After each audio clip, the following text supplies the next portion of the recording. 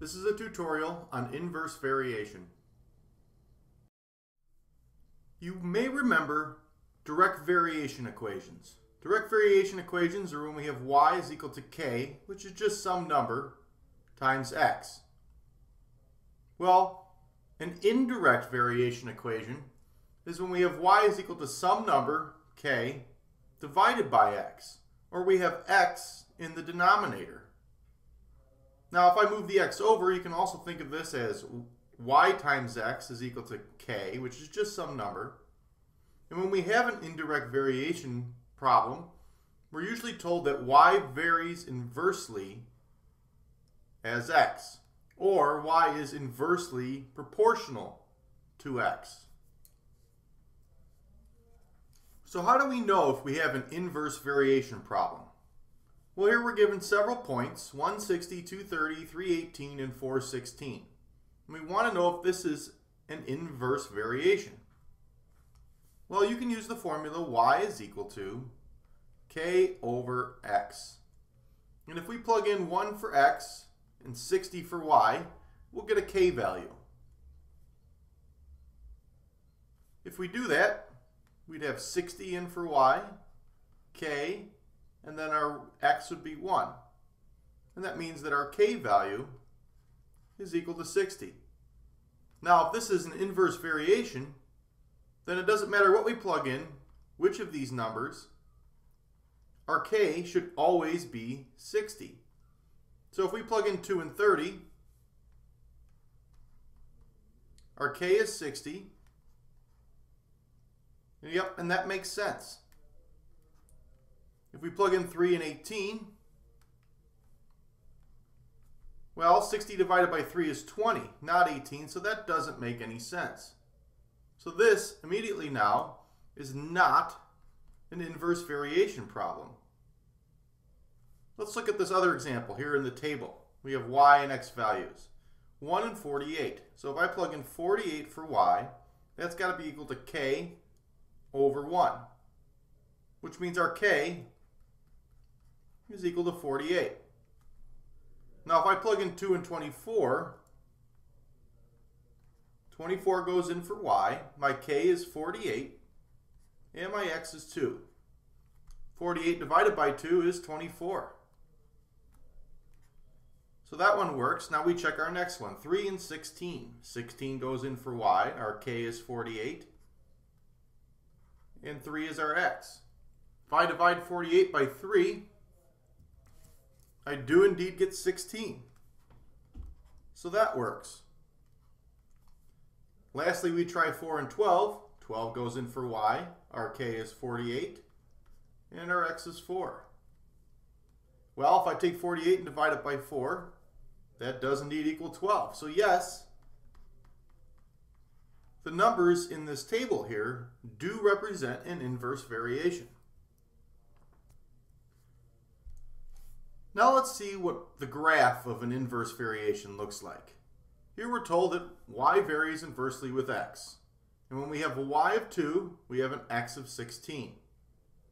Well, if we plug that in, we can find our k. Because remember, inverse variations always look like y is equal to k over x. So if I plug in 2 for y and 16 for x, that would mean our k is equal to 32. So what we're going to graph is y is equal to 32 over x. So let's create a table of values so we can plot this and see what it looks like. The values that I'm going to test for x are going to be 2, 4, 8, 16, let's try 0, negative 2, negative 4, negative 8 and negative 16. If I plug in 2 for x into this equation, y is equal to 32 divided by 2, and that means y is equal to 16. So we'll have the point 2, 16. If I plug in 4, I'll have y is equal to 32 divided by 4, and our y will be equal to 8. If I plug in 8 for x, I'll get a y of 4. And if I plug in 16 for x, I'll get a y of 2. Now if I plug in 0 for x, I have y is equal to 32 divided by 0. Well, you can't divide anything by 0, so we don't have a y value. This is undefined. If I plug in negative 2 for x, of y is equal to 32 divided by negative 2, and that's equal to y is negative 16.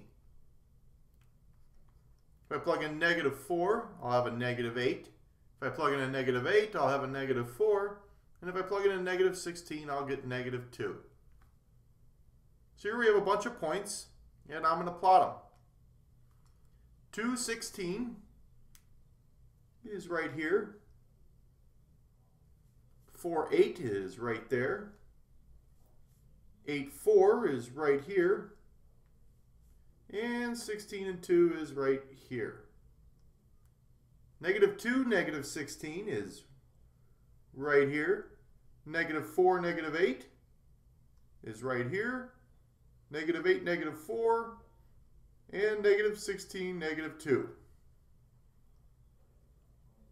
Now if we connect these points, we actually get two curved lines. And they'll look something like this. Notice that on the positive side, as x gets very small, or my denominator gets very small, my y gets very big.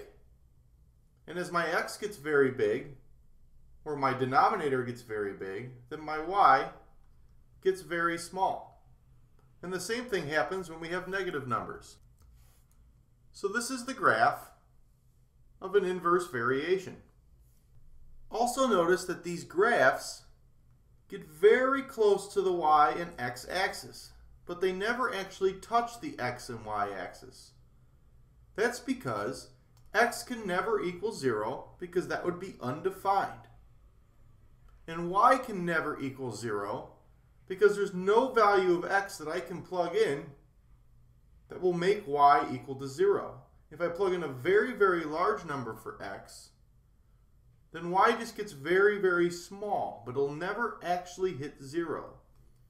So both sides of this graph are approaching the y and x axis, but they'll never actually touch or cross the y or x axis. Now the last thing we're going to talk about is the product rule for inverse variations. If x varies indirectly with y, and we have two points on that graph, then y1 times x1 is equal to y2 times x2. Now remember, y is equal to kx. And if I multiply the x over, I get y times x is equal to k.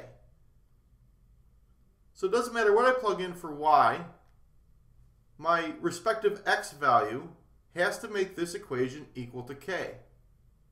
So if I have 5 and 4, and I multiply 5 times 4, that would mean my k is equal to 20.